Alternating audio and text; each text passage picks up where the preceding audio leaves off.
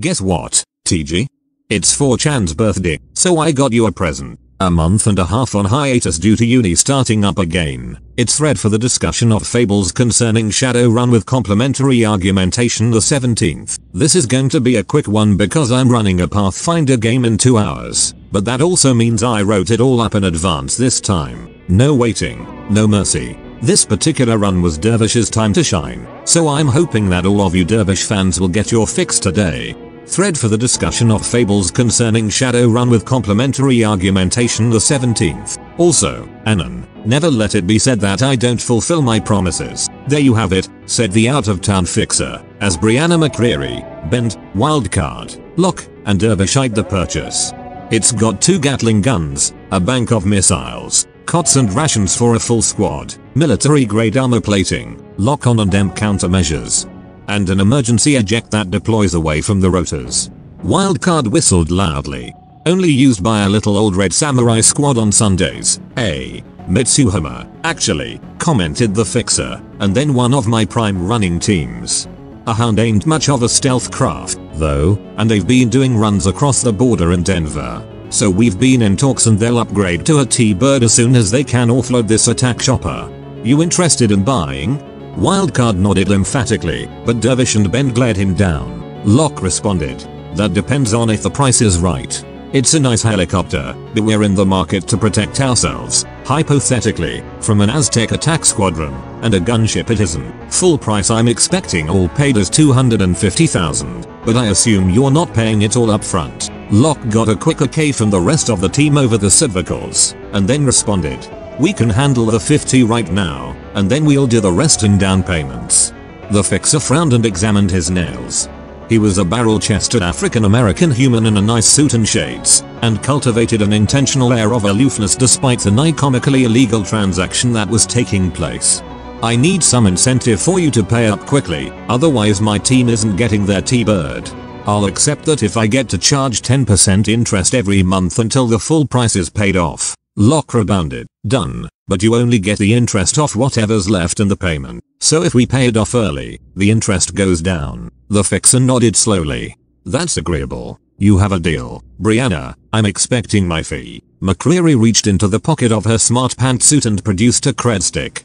Thanks for putting us at the front of the line, Diamond. Anything for a fellow fixer. You boys treat this bird right. Oh, and the hangar doesn't come with, so I'm expecting you out in 24 hours. Wildcard grin. Don't worry. I'm itching to take this lass for a fly anyhow. As the team arced over the skies of Auburn and then rode the smoky updrafts of Puyallup, keeping out of range of any of the megacorp's greedy eyes, Wildcard quizzed the team. His eyes twitched in his head as he interfaced with the helicopters moved by wire override, but he maintained enough cogency to talk. Smooth ride? Everyone else on the team grunted their approval. Familiarize yourselves with the guns? Dervish put up a thumbs up from the minigun's control console, shot up a couple of cars as we passed over the scrap heap, was wondering what that was. That just brings us to the most important question. The team looked expectantly at Wildcard. Where the hell do we park this thing? Jose Rodriguez, the blind, elderly orc gladiator come freedom fighter known to his young protege and said protege's running team as sensei, was mildly jarred by the loud foka foka coming from the roof of his crumbling barrens abode. DocWagon, the news, and the cops tended to stay out of Redmond, which meant that the helicopter he guessed to be approximately 20 meters above his humble home and lowering fast was Corp, privately owned, or Merc. He leapt to the reasonable assumption that as technology had found him again, latched up his ceramic ballistic armor, ran a quick diagnostics check on his saber blades, tossed a grenade belt over his shoulder, and made for the roof. As Sensei spotted the Eagle Warrior on the rooftop, gesturing for the large combat chopper to land, he knew that his hunch was right. His sight was failing, but his sonar scan would pick up the distinctive balance fins on the armor anywhere. He crept in, knowing he'd only have one chance for the kill. I've got you now Mytherficus. As Sensei leapt from the rubble, the Eagle Warrior responded with astonishing speed and fluidity, his improved reflexes spell in full tilt. Sensei ducked and dodged towards his enemy while the Aztec yelped in surprise, shooting gouts of smoldering ash at his assailant. Sensei landed atop the Eagle Warrior with a laugh, deploying both of his elbow saber blades. However, to his surprise, the Eagle Warrior shouted, I won't let you take me alive, Aztec. Sensei stopped an inch short of punching both blades through the Aztec's faceplate. Hey, kid, that was my line. Dervish stepped off the helicopter, looking sidelong at Sensei and Locke as he finished a fast food hoagie. Hey, Mexicans. Chill. Locke adjusted the hermetic seal on his beak-like helmet and glared at Dervish. Who the fuck is this? Dad, meet Locke. Locke, meet Dad. I can see the resemblance. As Locke sculpted back into the helicopter, Sensei stood up and brushed himself off, retracting his saber blades. Where are the clown and the hippie? They in the chopper? Dervish beamed. Yep. We were thinking about parking it here when it's not in use, since no corp is going to go searching in the barrens. Sensei grimaced at Dervish. Son, you can think all you want, but that's not going to stop every 2-bit hood, man-eating monster, and radioactive mutant in Redmond from gunning for the combat chopper on my roof. Wildcard stepped out of the back of the helicopter, holding large sacks of cement under his arms. We were also thinking we'd set up a concrete perimeter with an electric fence and a lumber and camo netting facade over the helipad. Maybe a few attack drones for good measure. Locke added. We're also going to set up a ward and a few spirit patrols. Sensei pointed at Wildcard. No cost to me? I'm footing the bill personally. Sensei leaned over and put his arm over Dervish's red, white and blue shoulders. Enjoy your new parking spot, son. It was late in December, 2073, and with the notable exception of Dervish, who was now living with Sensei in their fortress compound built around a decaying office building, the entire team had taken the compromise of their identities and living spaces during the Universal Omnitech run to be an omen that it was time to upgrade their living quarters. Wildcard had moved into a Finnigan mob suburb in Renton, paying off his unassuming white picket fence and backyard pool with periodically helping his repugnant landlord, Mrs. O'Malley, to rough up the local debtors. He also started spending money on real food, at least until Locke started coming over to mooch off of him. He then promptly stopped. Bend moved to a Puyallup neo-shamanic Buddhist fusion post-capitalist organic co-op, sharing the space with dozens of other young ideologues. Of course, Bend himself was well into his 50s, but the point was that he was young at heart, wasn't it? He found himself pleased with the busy work that distracted him from his criminal lifestyle, such as maintaining the gardens and refueling the hybrid biodiesel and used vegetable oil generator in the basement. Locke's door roof finally collapsed, dropping the devil rat nest on the floor above into his bolt hole. He proceeded to move to the other bombed out ruin next door, but not before clearing out a nest of feral ghouls and a sludge spirit. The team sat in their usual seats in Brianna McCreary's office as their fixer, wearing one of her better skirt suits, hung up festive decorations. She bounced about the office, hanging up a wreath for the desk, some mistletoe for the door, and four stockings monogrammed with the street names of the team. She whistled cheerily as she went about her work, periodically stopping to survey AR windows floating out from the Nexus. I hate to bring down the festive atmosphere, but while I'm all for spending the Avi getting minced on eggnog, I was under the impression that this was a business meet. Brianna shot a glare wildcard's way, a little bit miffed. Give me my moment. Okay, wildcard. This is the closest a fixer gets to a holiday. Reminds me, commented Dervish, who had brought an entire six pack of cherry and coriander holiday beer upstairs with him, and was currently working on the fourth bottle. Are you doing a Christmas party again like last year? Brianna positively beamed. I finally got the dining room at my house renovated, so I'll be able to do it properly this year, too.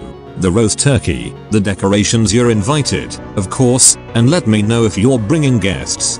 Right now it's mostly Abe and my other business contacts, but Damien will be stopping by, and Malcolm promised he'd bring his kids to play with my son. They sound so innocuous now that they're out of the game. Shuddered Ben, Damien and Malcolm. Law-abiding citizens. Damien and Malcolm. James Bond villain and flag pin wearing spider nutball. Agreed Dervish, popping his fifth beer. Ben frowned at Dervish. Are you gonna insult me when I retire, too? Wildcard shrugged. We do it now, you dandelion eating ponce. Locke chuckled at Wildcard sentiment, prompting a complaint from Ben. Hey, Azzy. Show some respect. Locke looked at Wildcard with his mouth half open, looking for validation that Bend was being hysterical. Wildcard just shrugged and commented. Respect is important, newbie. Locke rolled his eyes and looked at a couple of passing AR windows, mostly detailing events in the corporate world. So, are there any good looking jobs on the market, Brianna? Well, Bend mentioned that the team still wants to gauge your skills, Locke, and I wanted to toss you something easy for the holidays. Anyway, Locke looked over at Ben to find the tie-dye wearing infiltrator wearing a smirk. Which is why I've got a simple wet work job lined up for you. Ben's smile promptly disappeared. Wait, what? Brianna shrugged. It was the best paying job in its class. Ben, you used to be a ghost, you shouldn't have a problem with killing. Well, Buddhism suggests that conflict can have grave circumstances on one's harmony, and on top of that, killing is gross. It was Locke's turn to wear the shit-eating grin. My religion is fundamentally based around killing. Brianna nodded to Locke. Bend, you did say you wanted to get more of a feel for his skill set. Bend proceeded to grumble as he stole one of Dervish's beers. Hey, get your own six pack. The Johnson meet was at a steakhouse. On the class rating of steakhouses that the team was used to, it was on the lower end. Designer and formal suits were abandoned in favor of business casual, and classical music made way for country western. It was the kind of establishment that featured an eat 6 pounds of steak in 1 hour and you go on the wall challenge trolls need not apply. As the team was led to the Johnson party table by a chipper human girl wearing pigtails and a too tight to be classy blouse, Dervish made his intentions eminently clear. Guys, I'm doing the 6 pound steak challenge. Wildcard playfully punched Dervish. Not during the Johnson meet, giggles later. Come on, I'm 400 pounds of meat and suprathyroid. They won't know what hit M. Locke adjusted the buttons on his silk shirt and repeated Wildcard's ultimatum. Not during the Johnson meet, like a dejected child. Dervish kicked one of his white-toed Sibber feet at the floor and grumbled. Johnson was a wiry elf with the calloused knuckles and chin scarring of a life led hard. He apparently didn't believe in obscuring one's loyalties. The ugly tie he wore over his business casual monkey suit seemed distinctly chosen for its garish hues of red and green. Johnson was an obvious ancient, through and through, which meant many things right out the bat. Johnson wasn't professional, Johnson wasn't classy, and Johnson would probably be okay with sloppy wet work. Without even waiting for anyone to order food, Johnson opened up with his pitch. I need you to kill a troll and his friends. Without skipping a beat, Locke responded. How many friends? At least two. Essentially, we want you to cripple a gang by killing all the movers and shakers. Dervish smiled despite himself, remembering a similar run so very long ago. Locke continued. Let's hear a few more details before we talk price. Mr. Johnson, for all we know this troll could be X-Spec Ops. Try XCon, counted Johnson putting up an AR image of a large troll with titanium dermal deposits and an absolutely massive, over-modified chrome cyber arm. This is Curbstomp. Curbstomp was promised a cushy life if he stayed inside. Locke hazarded a guess. Curbstomp didn't stay inside? No, he didn't. He made some friends and now he's in Puyallup, poaching our turf again. So you want him and his friends taken care of? Permanently. So who are these friends we're hearing so much about? We don't have surveillance and only orcs and trolls are allowed into the gang's compound but we've heard rumors about a war boss troll, mostly Bioware, a real Frankenstein job and a voodoo magician. Curbstomp apparently got in deep with some Haitians while he was on the island and the Hungan is their way of saying thanks. So we kill the boss, the war boss, and the Hungan and we get paid? And any other gangsters that you'd care to kill? There's maybe 15 other regulars, mixed orcs and trolls. If you impress me there's always the chance of a bonus. No offense, Mr. Johnson, said Felix, leaning back in his chair, but professionals don't deal in chances. Johnson grimaced. Well, I do, and you can take it or leave it. 20,000 nuyen. Try 40. Mr. Johnson, this is still wet work, even if it's ghetto trash. And with three powerful trolls I'm not liking our insurance. 20,000. Johnson's hard hidden. You can at least do 30. We do have lifestyles to uphold. I know that this is way below your professionalism grade, which means you're probably doing this as a test run of some kind and it's not about the cash. 20k. That doesn't mean that we don't like cash, Mr. Johnson. I'm going to have to move it up to 30 again. 20 and 5 up front. Locke looked around to see the rest of the team shrugging and looking complacent. Not my favorite figure, but it'll do. Johnson and Locke shook hands, and Johnson stormed off, looking like he had other business to attend to. Wildcard, Bend, and Locke all instinctively threw themselves to the floor and began reaching for their guns as festive music played in AR and streamers and confetti shot out of the ceiling. Two waitresses in branded t-shirts carried a platter with a truly preposterous steak over to the table and fastened a bib around Dervish's neck. As Dervish's teammates picked themselves up from under the table, Dervish announced, Meeting adjourned. 32 minutes later, there was a large picture of Dervish, his face stained with steak sauce, smiling for the camera. The nameplate read America Sam. Wildcard asked, incredulously. Are you happy, Dervish? Inordinately. Dervish gripped his stomach, moaning as he slumped into the back of Wildcard's turbica. So, asked Locke, how are we thinking of going about this? Dervish responded, with a wide grin. Well, this is below our pay grade anyway, so I figure it won't hurt to have some fun with it. Ben gave Dervish a sidelong glance. Define fun. This is a terrible idea, griped Locke, thumbing his binoculars as he and Wildcard sat atop the catwalks of an old, defunct Puyallup factory. Why aren't we leaving infiltration to the infiltrator? They catch him, they kill him for being an elf, rebutted Wildcard, whereas Dervish is appropriate for the environment. Consider it a part of legwork. We did enough legwork just paying off the trash around here to direct us to the Crushers hideout. Wildcard pushed his mask up on his face long enough to pop a cigarette into his mouth and light up, leaning over the railing. Patience, moaning Minnie. We get Dervish in there. We get a long look at their facilities and personnel. Yeah? Locke sighed, paying careful attention to Dervish as the orc strolled fearlessly in bandana and armor jacket up to the scrap metal gate of the compound. I guess. I think we could probably handle them anyway, trolls or no. Wait a minute, is that Bend, the innocuous seagull flying above the compound, found himself in a cloud of toxic gas and held his breath. This was normal for Puyallup. The fact that the gas followed and began giggling was less normal, but still believable for Puyallup. Smog Spirit, called a deep voice from within the compound. Everyone load up. Bend cawed in fear and peeled away as the trolls below began emptying futile magazines into the cloud of gas where he had been. In a panic, he called up one of his Buddhist air spirits, which just contributed to the clusterfuck before the smog spirit exploded.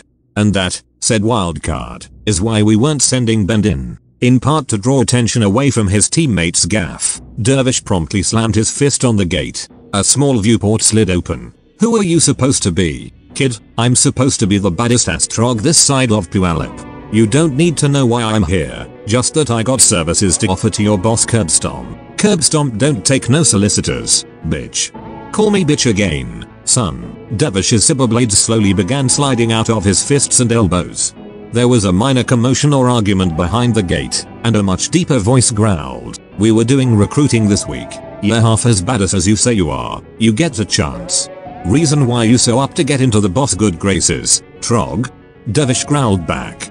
Cause katana wielding Suzuki riding dandelionitas are moving on my hood, and I need backup to teach them to back the fuck off. We solid? After a pause, the door swung open, revealing an orc and a troll in a strange hybrid of military gear and barrens rags. Yep. We solid. Just so happens we arming up to take on the elves. You do your part in the pit. You get your place in the gang. Dervish cocked an eyebrow. The pit? The pit. Sitting up in their factory roof hidey hole. Locke, wildcard, and Bend paused over their professional grade surveillance tools and a pack of organo style popcorn. The pit? Dervish was ushered. Alongside about 20 other young orcs and trolls who appeared to be housed somewhere else in the complex from inside it turned out to be three ancient storefronts cobbled together with scrap and concrete barricades into a makeshift courtyard, into a concrete floored basement. Pipes and rusted machinery ran along the ceiling and support pillars. Spattered patterns the off-brown of old blood ringed the room. A few dingy light bulbs supplied murky light down onto a thick crowd of orcs and trolls, cheering on and making room for two trolls beating each other senseless in the center of the crowd. At one end of the room were three makeshift thrones made out of broken machinery and car parts. In the center throne sat Curbstomp himself, looking on appraisingly as one of the two trolls finally grabbed hold of the other's horns and smashed him face first into the concrete wall. He was flanked by two other trolls, the troll on his right was dressed in a suit jacket over a bare chest with white skull mask face paint, covered in fetishes. The troll on his left was a vat job freak, his horns and dermal deposits replaced with super dense vat grown bone, and his muscles corded and taut to action figure specificity. These were, presumably, the targets. Curbstomp stood up and loudly announced. All new blood rise for war leader Madden. The vat job stepped forward as the room calmed down into a frenzied muttering. The Birebog announced. My name's Madden, but until you're in the gang, you can call me boss. I figure you all came here, you know what initiation is, so get to it. Everyone pick out the guy you're fighting. Only one of you gets to join the gang. The young gangers around Dervish all broke off and began making eye contact, occasionally pointing or shouting at someone that they thought they could take. Eventually everyone was paired off. Everyone except Dervish.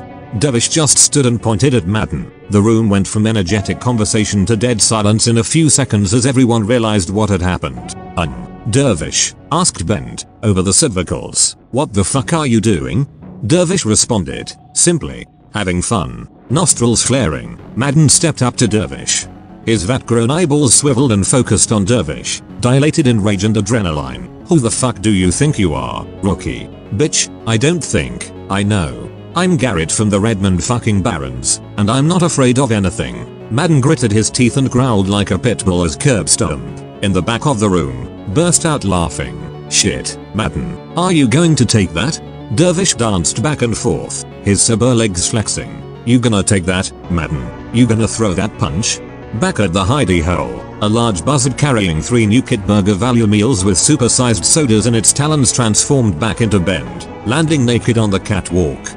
Okay, I got the stuff. It started yet? Locke gestured wildly toward the vid screen. It's about to. Sit down. Madden threw the punch, and it came like a freight train, his synaptics blazing. Dervish tucked under Madden's arm as it flew over his shoulder like a shotgun blast, smashing the rookie behind him into the crowd, trailing blood. Dervish spun underneath Madden's shoulder and, utilizing his Sangha Sero training even if blades were a no-no for this match, planted an elbow right into Madden's flank. The crowd roared at the impact. Madden's muscles were as dense as corded steel. It just so happened that Dervish's bones were about twice as dense as that. The troll staggered. Adrenaline pumping, Dervish's Sibari cover slid into place as he yelled, You're mine now, bitch. With an animalistic roar, Madden spun, swinging his arm around in a brutal right hook. He moved faster than Dervish had anticipated, and Dervish caught the blow right in the chest, and then continued to catch the blow as Madden followed through with the punch literally carrying Dervish another 6 feet before Dervish fell off of Madden's fist and hit the ground. Madden followed up with a vicious stomp, but Dervish rolled out of the way. Madden laughed, happy to see Dervish flailing on the ground. It didn't last long, as Dervish rolled into a crouch, activated his skimmer discs, and promptly launched upward into a full body check to the troll's center of mass.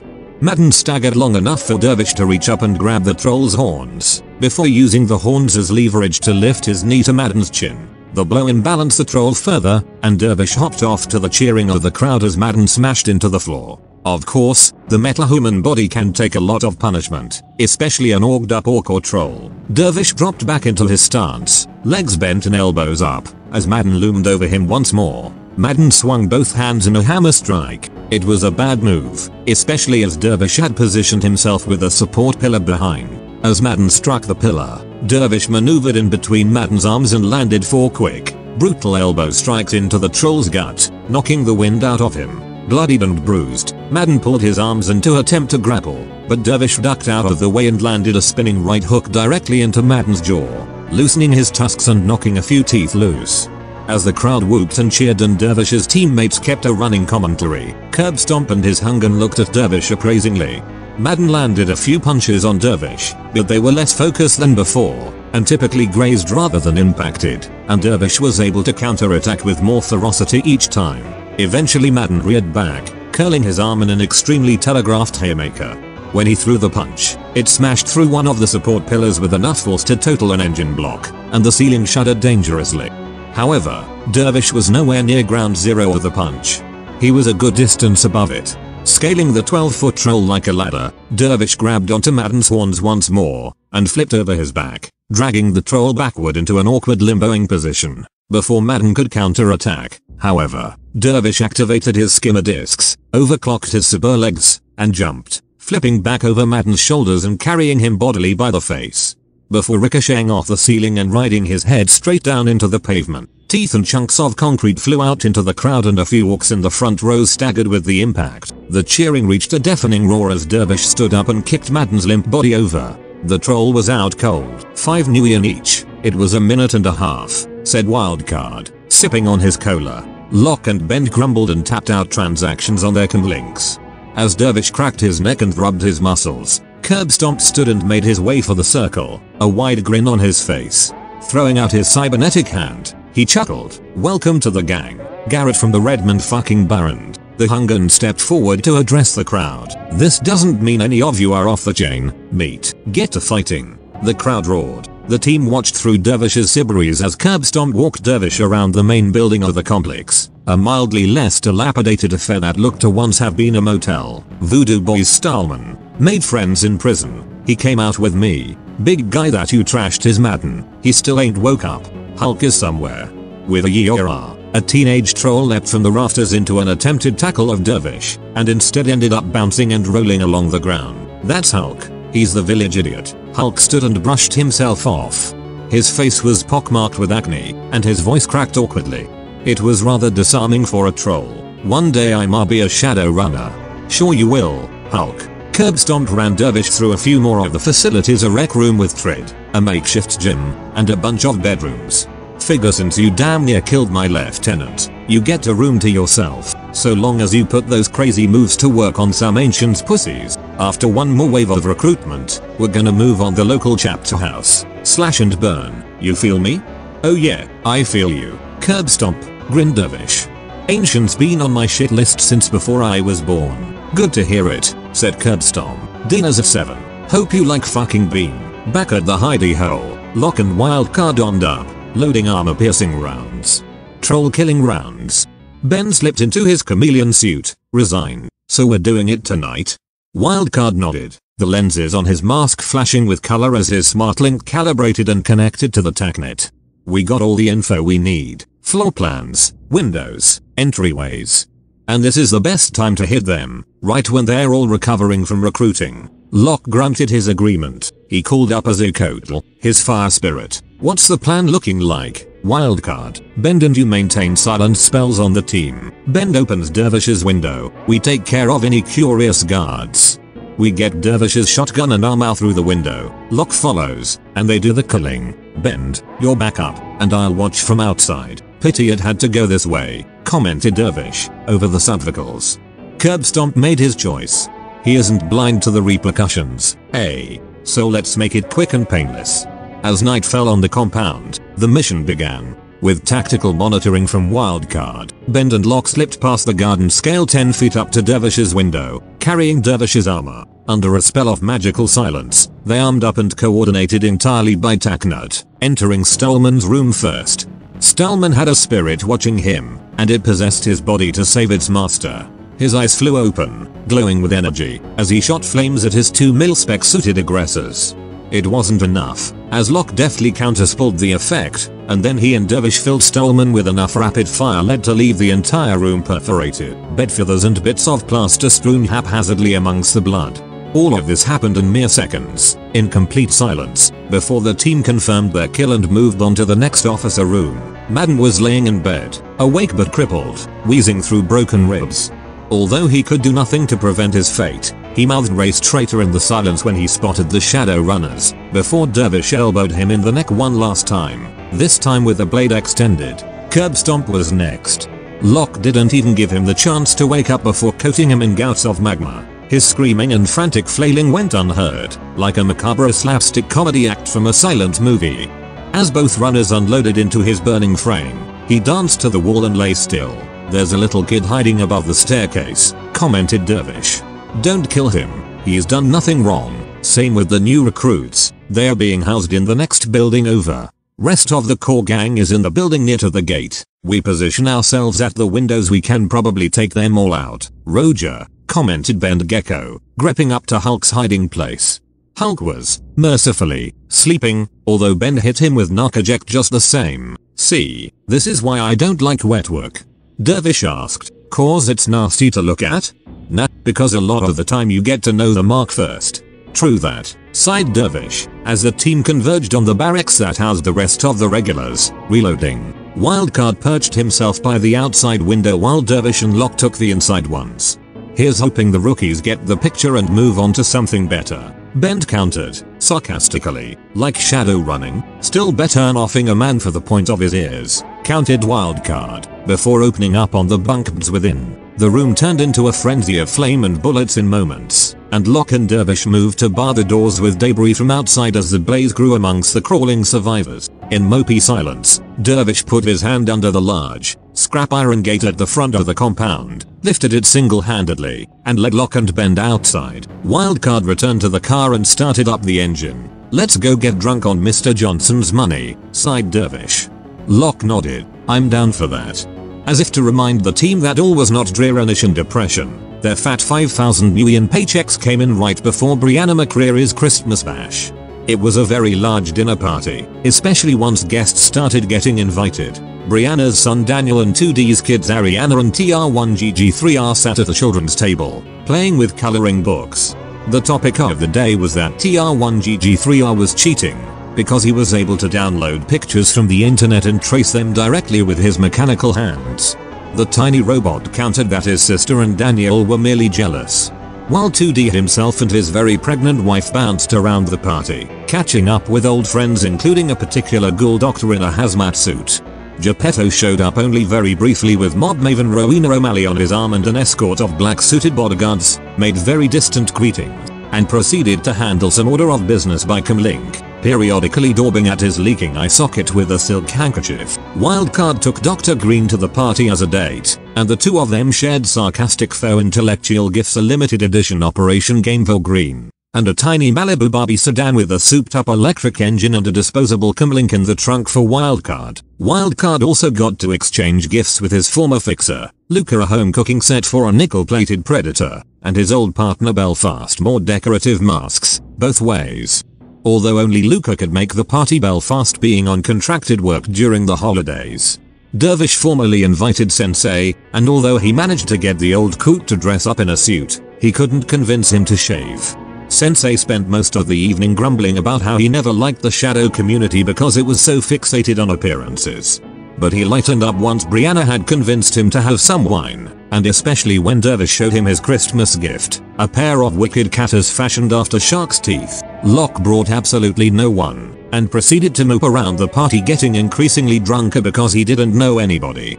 When the party game started, though, Geppetto didn't care to reprise his role on the team, allowing Locke a fair degree of fun. Ben brought Emily, although Emily spent most of the evening being intimidated out of socializing by the likes of Geppetto, Sensei, and John the Ghoul. The evening was, however, livened up when he opened an anonymous gift to reveal an armed pipe bomb wrapped in a ribbon and bow, which he, 2D, and Wildcard promptly scrambled to disarm. When the ticking stopped, a card fell out of the gift, flitting to the floor. Ben picked it up, just making sure my favorite agent hasn't gotten slow. Merry Christmas. Formic. Ben blanched at the card. 2D poked at him, angry that he'd had to put down his wine to defuse a bomb. Hey, asshole, what's the deal?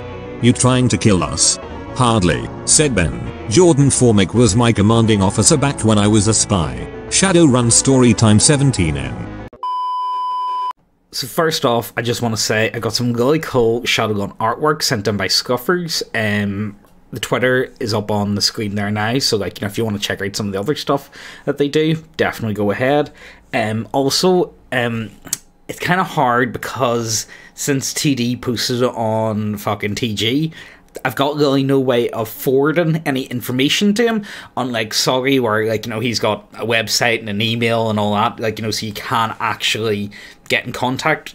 So like you know, like if anyone does know the fellow that actually did write the Shadowrun story time, please try and get this picture forward to him.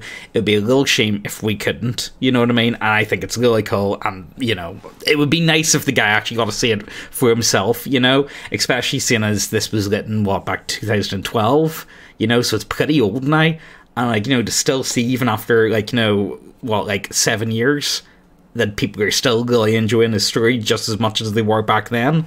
You know, um, I think that would be really cool. So if anyone could get in contact, definitely try and forward to him if you can, if it's possible. But no, I, I do love Dervish. I would say Dervish is my favorite character in Shadowrun, and for him to get like you know his own kind of like episode of sorts, I really enjoyed that. But I don't know. I didn't really feel the wet work. It kind of felt a bit dirty, you know, compared to what the guys are normally up to. And I don't know. It, it felt like, oh, I don't know. Like it felt a bit dirty, underhanded, you know. But look, um, I know it's been a wee while since I've done a Shadowrun story time, and I really enjoy it. It's probably my favourite story time that I like to do. So I'm gonna try and really hammer it out, and I want to get it done within the next two months, if we're lucky. That is, um, minimum. I really want to be doing this once a week, just because I've managed to finish the Cold Shoulder. Let's get uh, Shadowrun finished off because I really has been just arsing about, and I'm really piss poor keeping to schedule. So like, you're just gonna have to forgive me about that. But like, as I say, hope you boys enjoyed. Hopefully, get us done in the next couple, like you know, months or so. There is only a few more parts to go, so like. let's just hope for the best. And of course, if you have any artwork at all, um, I'm not really active on Twitter it's mostly the mods that I like, you know, mostly the mods on the Discord are actually in control of my Twitter for the most part, so I don't really see it all that much. So honestly, if you want to get a hold of me, you're gonna Discord's the only one that I really am active on. But if you send it to Twitter, I will eventually see it myself. So if you have any more artwork, I would love to see it. I love a good bit of artwork. I think it's really cool. But like I'm I'm I'm, I'm going on for too long. I'll see you boys later, and hopefully the next Shadowrun won't be too long away. So I've recently moved Neckbeardia merch over to Teesprings and have a few new designs. Listings are below the video and in the description. So I am an affiliate of NordVPN. If you have been thinking of getting a VPN with everything going on at the minute NordVPN is offering 75% off a 3 year plan. I have been using Nor myself for a few years now because it helps support a lot of the people I like to watch on YouTube and I think it's pretty cool they have let me become an affiliate. So check out nordvpn.org forward slash neckbeardia and use coupon code neckbeardia for 75% off while the offer is on. Just stop! Just stop it! Stop! No! Just stop it! It's time to stop! It's time to stop, okay? No more! Where the fuck are your parents?